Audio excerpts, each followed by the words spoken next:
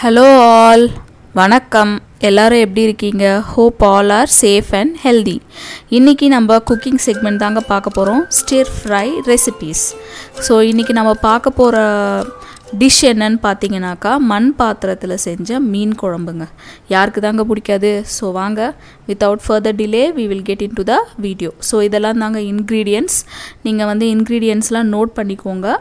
பின்னாடி வந்து நம்ம குக்கிங் பண்ணும்போது நான் இந்த இன்க்ரீடியன்ட்ஸ்லாம் உங்களுக்கு திருப்பி சொல்கிறேன் ஸோ ஃபிஷ் வந்து காணாங்கத்தா மீன் தாங்க வாங்கியிருக்கோம் அரை கிலோ. அதுக்கப்புறம் இதெல்லாம் வந்து தாளிக்கிறதுக்கு இதெல்லாம் தேவை. சரிங்களா? நெக்ஸ்ட்டு வந்து இது வந்து அரைக்கிறதுக்குங்க. இது தாங்க ரொம்ப முக்கியம். நம்ம மீன் குழம்புக்கு டேஸ்ட் கொடுக்க போகிறதே இந்த அரைப்பு தான். சரிங்களா? ஸோ இதுதாங்க காணாங்கத்தா மீன். ஸோ இதை வந்து நான் நல்லா நாலு தடவை வாஷ் பண்ணிவிட்டு அதுக்கப்புறமா மஞ்சள் உப்பு போட்டு அதை ஒரு ஃபிஃப்டீன் மினிட்ஸ் விட்டு அதுக்கப்புறம் திருப்பி அதை வாஷ் பண்ணிவிட்டு தான் அங்கே வச்சுருக்கேன். இப்போ வந்து நம்ம எண்ணெய் ஊற்றி வச்சுருக்கேன் சட்டியில். எண்ணெய் ஊற்றி அது வந்து எண்ணெய் காஞ்சிக்கிட்டு இருக்கு அதுக்குள்ளே நம்ம அந்த மசாலா வந்து அரைச்சிக்கலாம்.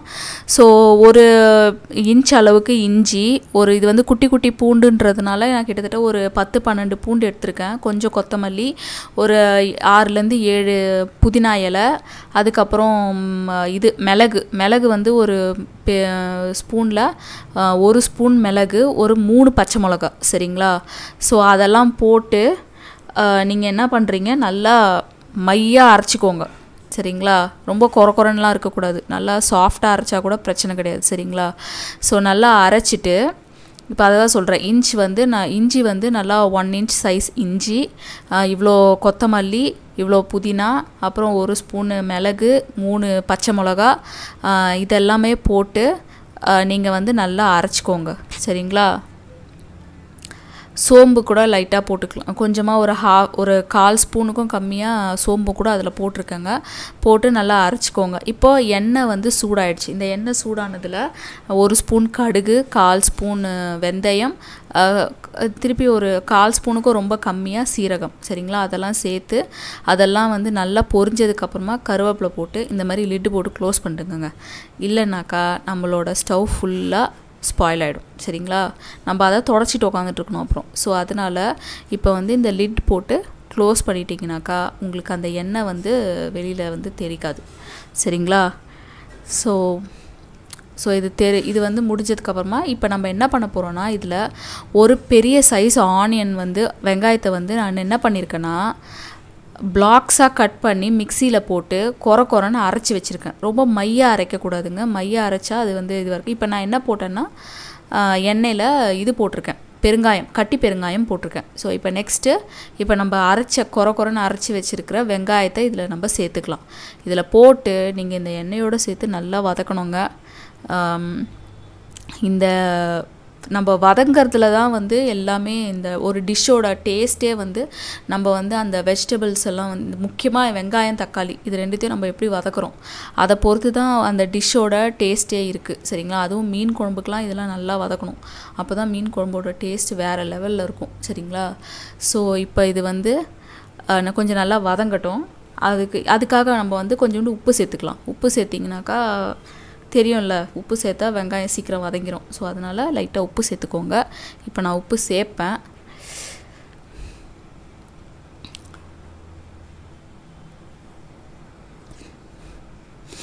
ஸோ இப்போ வந்து லைட்டாக உப்பு சேர்த்து கொஞ்சம் நல்லா வதக்கிக்கோங்க. சரிங்களா? கருகாமல் மட்டும் பார்த்துக்கோங்க. கருகக்கூடாது. சட்டி வந்து சூடாகிற வரைக்கும் தாங்க லேட் ஆகும். ஒன்ஸு சூடாயிடுச்சுனாக்கா கட கட கடன்னு நடக்கும் அதில் குக்கிங் சரிங்களா? ஸோ அதனால் நம்மளால் நீங்கள் வந்து கொஞ்சம் கவனமாக இருக்கணும். நம்ம பண்ணுற உணவு வந்து food should not get burn so அதனால் நீங்கள் கொஞ்சம் கவனமாக பார்த்து சமைக்கணும். ஸோ இப்போ உப்பும் கொஞ்சோண்டு மஞ்சத்தூள் ஆட் பண்ணியிருக்கேன். அது வந்து நான் போட்டதே வந்து குட்டி ஸ்பூன் தாங்க. ஸோ அதில் வந்து ஒரு ஸ்பூன் மஞ்சத்தூள் போட்டிருக்கேன் நான் இதில். சரிங்களா? ஸோ அது நல்லா வதக்கணும். நல்லா வதக்கணுங்க. எண்ணெய் எண்ணெய் வந்து தனியாக பிரிஞ்சு வரணும். அந்த அளவுக்கு நீங்கள் நல்லா வதக்குனீங்கனாக்கா எம்மியாக இருக்கும். சூப்பராக இருக்கும். சரிங்களா? ஸோ இது தாங்க நாங்கள் வாங்கின காணாங்கத்தான் மீன். இதை வந்து நல்லா மஞ்சத்தூள் உப்பெல்லாம் போட்டு நல்லா நல்லா வாஷ் பண்ணி வச்சுருக்கேன். சரிங்களா? ஸோ இது. இப்போ இதில் வந்து இந்த இந்த ஸ்பூனில் ஒன்றரை ஸ்பூன் மசாலா. நம்ம அரைச்சோம் இல்லைங்களா ஃபஸ்ட்டு நான் மிக்சியில் போட்டு காட்டினேன் இல்லைங்களா?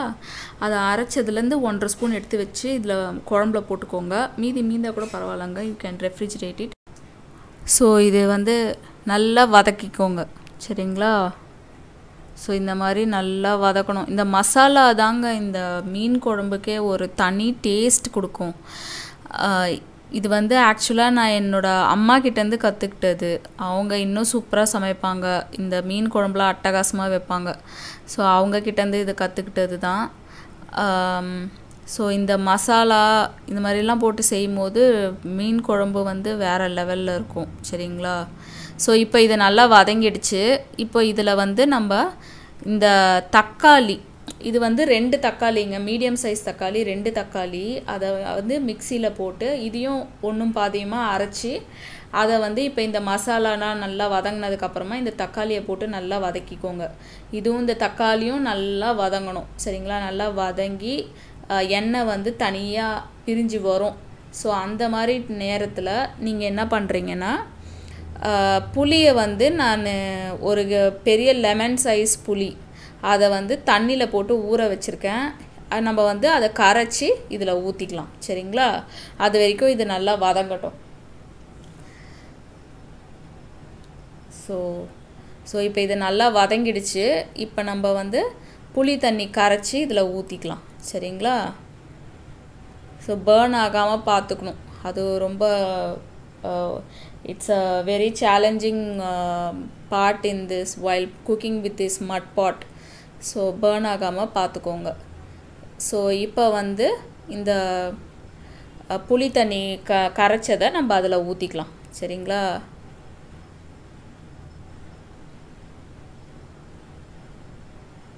ஸோ இப்போ ஊற்றியாச்சு புளி தண்ணி சேர்த்தாச்சு.